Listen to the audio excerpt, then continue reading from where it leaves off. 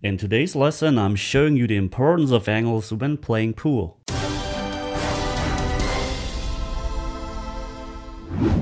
Especially beginners don't like angles when it comes to potting balls. The straighter the shot is, the better they think it is. Yes, that's true. Shots become easier when straighter, of course. But when it comes to positional play, there is one very important thing you have to realize. The less angle you have on a ball, the less places you can reach with the cue ball on the table, or the harder it gets to reach those places. So angles are our biggest friend. I've prepared 5 situations for you that will show you that principle. And at the end of this lesson I got a very famous example what can happen if you don't have enough angle. So let's get straight into our first situation. As you see, I'm stopping the cue ball I'm on the right side of the 9 ball to go into the rail and to the other side of the table.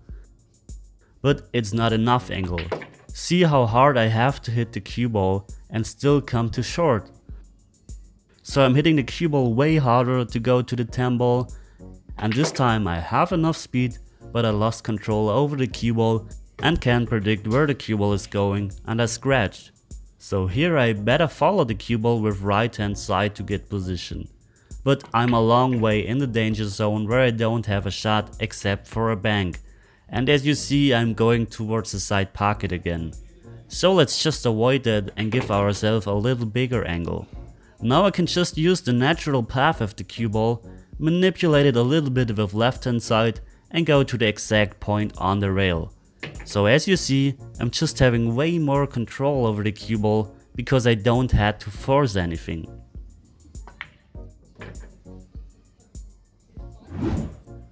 In our next example we have this situation. And what beginners would do here is to just follow a little bit so that the shot on the 9 gets easier. But what happens here is, I have to force the cue ball again to go up table and hit it really hard because I'm hitting the 9 ball very full. And because of that I overhit the ball. So I'm deciding to draw the cue ball back. I am now further away from the 9 ball, but since the 9 ball is hanging over the pocket, the pot is not that tough. Now it's much easier to go up table. But you see I got too short. So now a short excursion. When I'm playing the 9 ball I use the short rail to get position. Because then my margin for error is just smaller.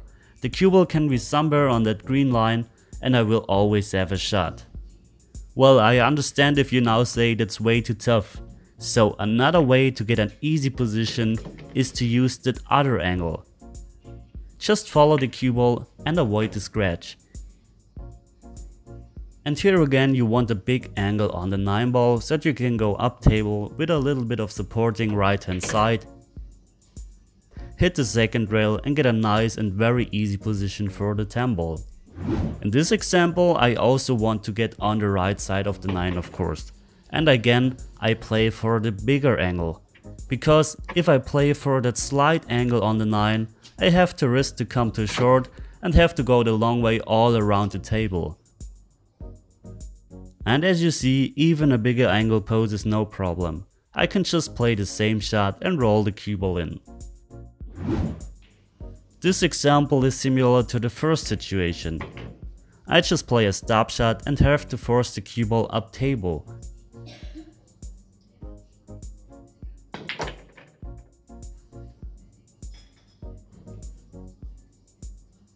See what happens when I just follow the cue ball a little more.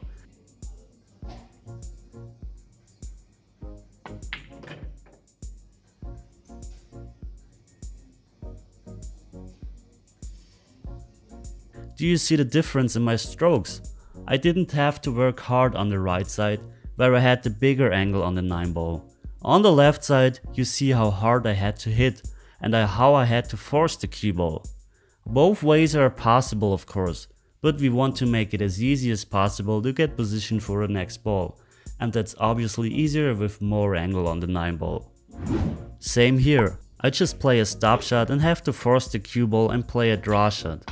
But this is dangerous because I have to use the right side of the pocket to create an angle and that way I can easily miss. So on all these shots, we should have learned one very important lesson. Step behind the 9 ball and look what angle you wanna have. From there I'm seeing a stop shot is very bad choice. So I decide to draw the cue ball back to have a nice angle on the 9 ball. But I don't agree 100% with that shot. You see I overran the position and get a tougher shot on the 9 ball that it should have been.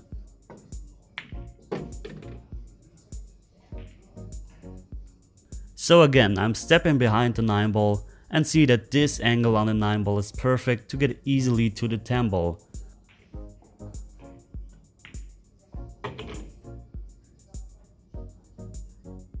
I have to be a little careful because I'm flirting with the side pocket. But to prevent it, I played the shot soft enough so that the cue ball will never reach the side pocket even if the line is going exactly towards it.